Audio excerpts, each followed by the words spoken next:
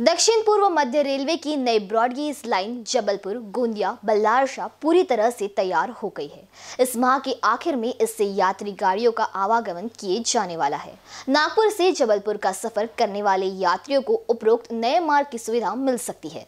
जबलपुर से नागपुर तक ट्रेन से सफ़र करने वालों के लिए समय में बचत होगी। दपोम रेलवे की नई broad gauge line Jabalpur, Gondia, Ballarshah पूरी तरह से तैयार हो गई है। इसी माह के आखिर में इससे यात्री गाड़ियों का आवागमन किया जाने वाला है। हालाँकि अभी तक नागपुर मंडल के पास इस तरह की कोई अधिकृत जानकारी नहीं पहुँची है, लेकिन सूत्रों की माने तो नए साल की शुरुआत में नागपुर से जबलपुर का सफ़र करने वाले यात्रियों को उपरोक्त नए मार्ग की सुविधा मिल सकती है। जबलपुर से नागपुर आने के लिए मध्य रेलवे की बड़ी लाइन से इटारसी होकर आना पड़ता है। पाँच सौ बयालीस किलोमीटर के इस सफ़र को तय करने में आठ घंटे से ज़्यादा का समय लग जाता है। लेकिन अब उपरोक्त नई ब्रॉडगेज के कारण ढाई घंटे तक समय की बचत होगी। जबलपुर से गोंदिया, वो गोंदिया से बल्लार शाह के लिए बनाई गई नई लाइन से नागपुर आने वालों को पहले गोंदिया का सफ़र 250 किलोमीटर तय करना होगा। यहाँ से नागपुर आने के लिए